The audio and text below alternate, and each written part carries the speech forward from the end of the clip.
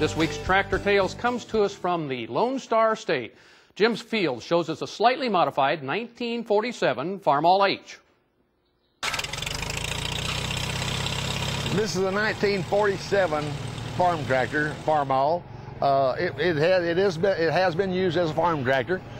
Uh, the gentleman who had it bought it new, and I bought it from a friend of his, and they've both passed away since. And they put the wide front end on it. Uh, I don't know why. A lot of guys like the wide front end. Most of them are tricycle. I have another one that's a 1941 uh, uh, H. This has the Swartz front end out of Chicago.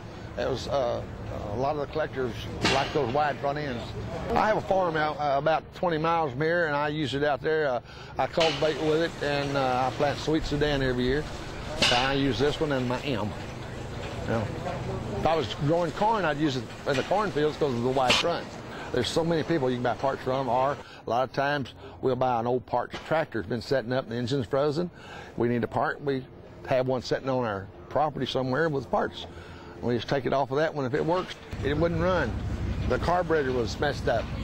And uh, I took the float out, rebuilt the float, rebuilt the carburetor, put new float in, cranked it up, and it had an old beer can on the top of the muffler, and it shot it about 40 feet in the air when it fired. I've had it at four parades with the original plugs and wiring on it. I didn't change them, but the last parade I went to, I had to change plugs, started fouling out. But and it runs great. Uh, it's been a lot of fun. I restored it and painted it. it was, uh, when I got it, it was just a rust bucket. And those were the original tires on the back. I enjoy the tractors and taking them to the shows and the parades. Kids enjoy seeing them. International Harvester began making the Farmall line in 1923.